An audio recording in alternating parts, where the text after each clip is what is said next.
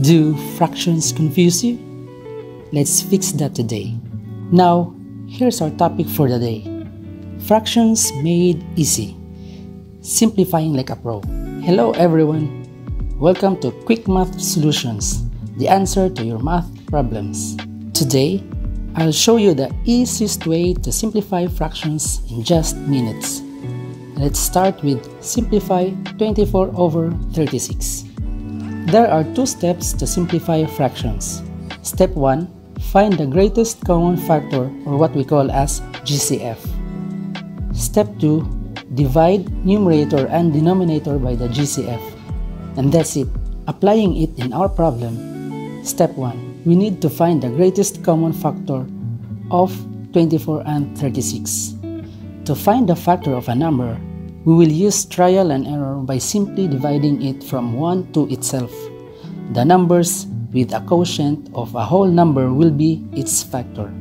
By using this method, the factors of 24 are 1, 2, 3, 4, 6, 8, 12, and 24. And the factors of 36 are 1, 2, 3, 4, 6, 9, 12, 18, and 36. By investigation, our GCF will be 12. Now, we already have the GCF, so we can proceed to step 2. Divide both numbers by the GCF, which is 12. 24 divided by 12 will be 2, while 36 divided by 3 is equals to 3.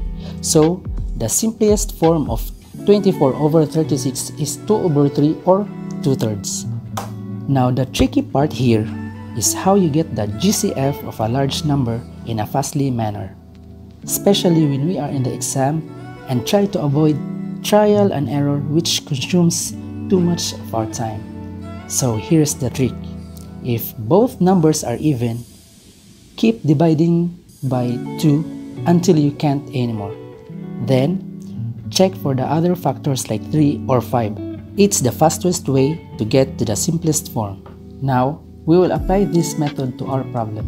Divide 24 by 2 is equal to 12, and 12 divided by 2 is equal to 6, and 6 divided by 2 is equal to 3, and 3 is not divisible by 2 anymore, so we will stop there.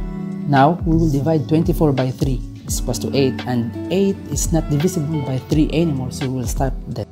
Now the same step we will use in 36. Divide 36 by 2 is equals to 18 and 18 divided by 2 is equals to 9 and 9 is not divisible by 2 anymore so we'll stop there. Now we will divide 36 by 3 is equals to 12 and 12 divided by 3 is equals to 4 and 4 is not divisible by 3 anymore so we will stop there. By investigation, our GCF will be 12. And that's it. 24 over 36 becomes 2 thirds.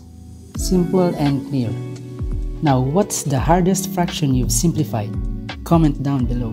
If this helped you, give this video a thumbs up and don't forget to subscribe for more quick math solutions. See you in the next one.